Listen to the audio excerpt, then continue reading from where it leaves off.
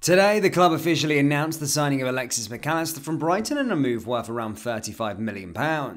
However, this is not the last of the business to be done by the football club this summer.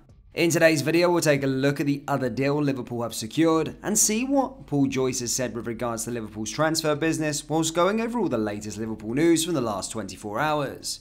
There is so much to cover in today's video.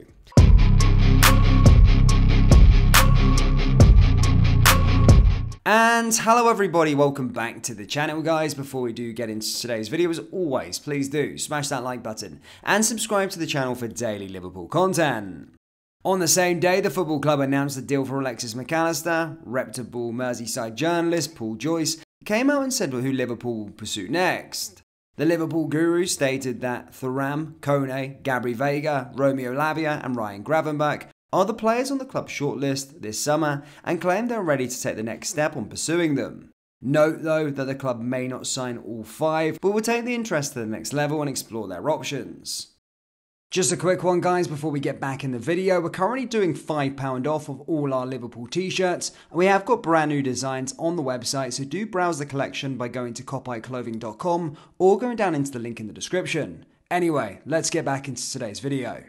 While most Liverpool fans are still buzzing off the announcement of Alexis McAllister, the club today also announced that they have secured yet another huge deal ahead of the summer. However, not for a player, but a familiar structure that we're all aware of. The club have brought back their former Melwood training ground for their women's team to use. The men's first team vacated the site in West Derby in the city in November 2020 for a new build at their existing academy base in Kirkby. Amid local protesters, proposals were in place for the land to be turned into multi-generational housing complex by affordable housing group Torus. But after Robbie Fowler, Jamie Carragher Academy moved in plans started to change, which has ultimately resulted in the club repurchasing their former home. As a part of the move, the crest of the LFC women's team, which had previously trained at Tranmere Base on Wirral, will move to the official club crest to closer align the two operations. The club statement read, This is a truly historic moment for Liverpool Football Club and the continued desire of the LFC Women's Board to elevate and develop our women's first team and Category 1 professional game academy. We also have an opportunity to further develop to use the site to support the local community by using it as an additional base for LFC Foundation. We are delighted that FEFA, Fowler Education and uh, Football Academy, will continue to use their site as for its college that provides sport and educational opportunities for young people. We have always taken the views of the local community seriously and we look forward to re engaging with them in the near future. Torus will use the funds from the sale of Melwood to build much needed homes across Merseyside.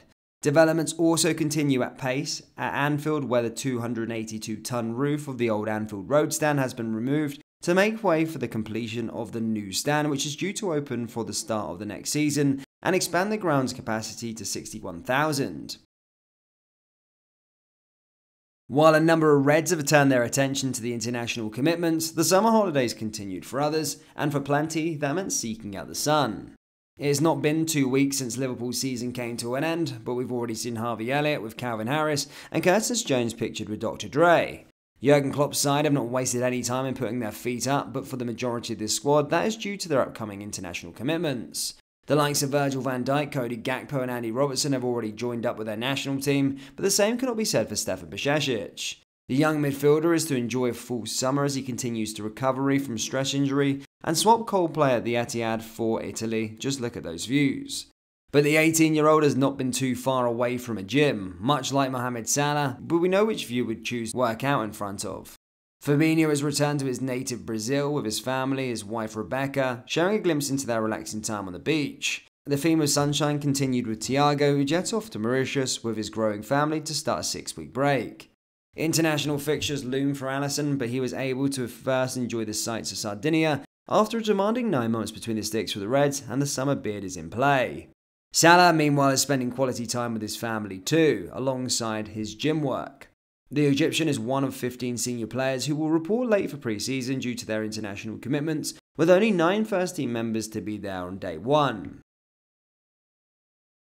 Jurgen Klopp has already made a nod to Alexis McAllister's flexibility in midfield, a trait that he is ready to capitalise on as Liverpool 2.0 moves forward.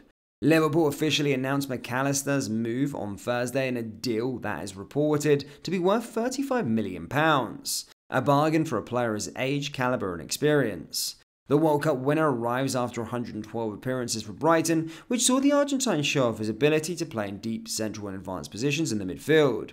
In addition to finding the right character to fit into the squad, versatility is a key trait for Klopp, and the manager did not wait long to laud McAllister's abilities. He claimed, We are adding a very talented, very smart, very technically skilled boy into our squad, and this is super news. I do not think the football world needs me to say too much about Alexis's qualities because they are already pretty well known, but it is clear that he is someone who can play in a number of positions in the midfield and is an all rounder, I would say. He is calm and composed and someone with proper game intelligence. Klopp went on to say he has watched him grow from a young boy, starting out in the league, to a man who's helped his country win the World Cup. It's no wonder then that he was pleased with what he had seen from the 24 year old, most notably for thriving at Brighton in a system that is underpinned by technical and tactical tweaks of, and fluidity. He said, I'm really happy his next steps will now be with us and get his work with a player who's already excellent and experienced, but also has so much more to come given he is just 24 years old. He is just as excited to be joining and working with us that it already makes it a good partnership, but there is no pressure on him. He's still young, so it's obvious he will only improve, and our job is to help him take their next steps. McAllister will be part of a group that returns late to preseason as he now joins up with Argentina for their summer internationals. But this swift business ensures McAllister can rest easy knowing the future is sorted and that the club is now focused on tying deals up for other summer targets. Shortly after the announcement was made, McAllister signed off his three and a half year stay at Brighton with a social media post, thanking fans for their support during his stay. The midfielder expressed his eternal gratitude for the opportunities the club had given him and joked that he will be supporting the Seagulls in every game that they play that doesn't involve Liverpool. He wrote, It's time to say goodbye to the club that opened the doors for me and gave me wonderful moments. I never imagined living all that I lived in these three and a half years, but this club gave me the possibility and the gratitude will be eternal. First, I want to thank each and every one of the people who are part of this journey Tony Bloom, Paul Barber, and the leaders, Graham and Roberto, along with their technical bodies. Players, the most important, and for whom I take beautiful memories and lessons. All the people who work with the club who are often the least seen, but the ones who make the most effort to make their days too enjoyable to help the teams achieve important goals. Lastly, a special mention to the fans. Their support and respect during the time I was amazing, and so were the post World Cup welcomes. I will never forget them. I have no doubt that the team will continue to achieve important things because they have the footballing and human qualities to do so. I'll be watching and rooting for them always, except when we play against each other. Thank you, Seagulls. McAllister becomes Liverpool's first permanent midfield signing since Thiago's arrival in 2020, with Arthur joining on a loan last summer but failing to register a first team start. He is likely to be the first of a number of additions of the transfer window, with Jurgen Klopp looking to get business done early on and to maximise his benefits in pre season. Okay, to finish this video off, Liverpool fans, I thought it'd be interesting to get your mind working a little bit. There have been six Argentine Liverpool players prior to McAllister. Without using Google, give it your best shot and name all of them in the comment section below. That brings us to the end of today's video. As always, please do smash that like button and subscribe to the channel for daily Liverpool content. Remember, we have got Liverpool t-shirts available on our website, along with brand new designs, so do browse the collection by going down into the link in the description or going to kopiteclothing.com. Thank you, and I'll see you all next time. Take care. Peace.